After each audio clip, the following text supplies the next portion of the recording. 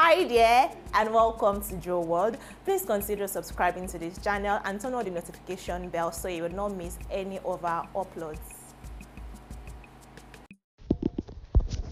Tope Alabi robbed at gunpoint. Nigerian gospel singer and composer evangelist Tope Alabi was robbed at gunpoint in Ogun State.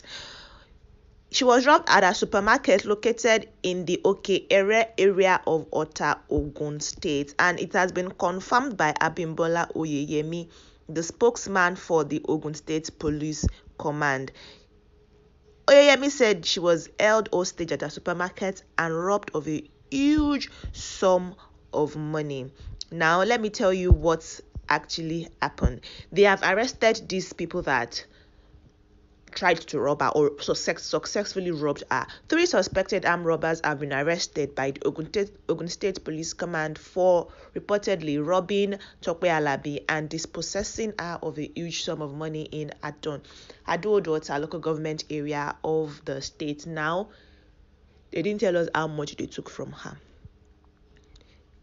There was a call, it was around 9.45 p.m. on the 22nd of June that a shop that is a provision store in Ota, Ogun State, was robbed. They brought guns, they held her hostage, tied her down, and then, but then, luckily, people outside were able to make call to the police, and then they these hoodlums actually tried first off to resist arrest. They attacked the team, then they took to their heels, but then they were chased, and the three of them were subsequently apprehended. They had locally made pistol, they had life cartridges, they had dangerous charms on them. And now the Commissioner of Police in the state, Edward Ajogun, has ordered that the case to be transferred to the State Criminal Investigative Department, CID. He has appealed to the public to always inform the police on time whenever they notice any distress situation. Well, if you do not see it, it's just a lucky thing that it was noted in time that a store was being robbed and it was late at night 9:42 p.m. Wow, thank God that she's fine and alive and nothing was nothing happened so I just hope it wasn't a so traumatic event for her and she's coming out fine. Tope Alabi is a Nigerian gospel singer a film music composer and an actress. She's popularly referred to as Oretio Komo and Agbojeso. She was born on the 27th of October 1970 in Lagos State and she's the only daughter of three children.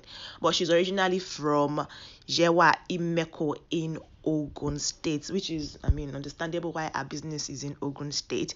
But then she grew up in Ibadan. She studied mass communication and graduated in 1990 from the Polytechnic of Ibadan. She was actually a formerly she was formerly a member of the Jesters International Comedy Group, but then she started joining theater troops and then started singing for music um, movies yoruba film genre in nigeria she was like the music composer the soundtrack composer and singer for a long time before she metamorphosed into gospel music after she became a born again christian. And she's been doing amazingly well for herself. But recently she was in the news so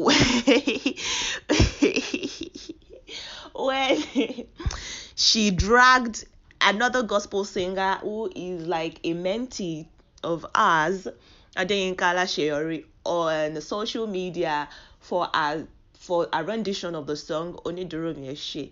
And uh, she was like, God is not someone's guarantor, whatever, whatever, whatever. And Nigerians do not take it easy with her. In fact, Adeyinka Alaseyori's music career, you can say that it grew radical, like it really grew that period because of what Tope Alabi said, because out of spite of Tope Alabi, people now went in support of Adeyinka Alaseyori, celebrities pointing all of those things now. And then she had to come and stylishly do some PR stunts to retract her statement and say she didn't really mean it like that, blah blah blah. There's always peace among them. But Adeyinka Alaseyori, of course, was not very comfortable with the whole attention that that drew mean, due to her and whatnot. But then she, there was nothing she could do. She had to bask in it because, man, it's your time. And it's just unfortunate that it's Tope Alabi that was the scapegoat. But she's done so many things for us. She's had so many songs from uh, Oreti Okomo in 2001 when she started the Gospel Music Act to Iwe Eri, Agbara Reni, Agbara Olo, Angeli Me 2007 is still a hit. Now people are still singing Angeli Me. She has Yes and Amen. Agbelebu in 2013, Alagbara in 2012. Fún Michelle Lua. She has nowadays she does a lot of live session, live worship worship sessions with TY Bello. They've done a Eruretoba together. They've done Adonai. They've done Obamide. No one else. Angeli Olowoino. And recently they have War that they've done together. I mean she and TY Bello. She's of course married and she has children. Although she has a child from a previous relationship, states that marriage actually that she had a grown-up daughter now who is also interested in music and sings along with her mom. Anyways, that's it, guys, concerning the happenings to evangelist Tope Alabi Oretio Komo and the robbery. She actually came out of alive and unhurt, although she lost some amount of money. But hopefully, the money will be returned to her since they were able to arrest these suspects, these thieves that tried to robber in a store in Ogun State. Hi guys, I'll see you in the next video. Take care of yourself and please be sensitive in your environment or to your environment. Bye.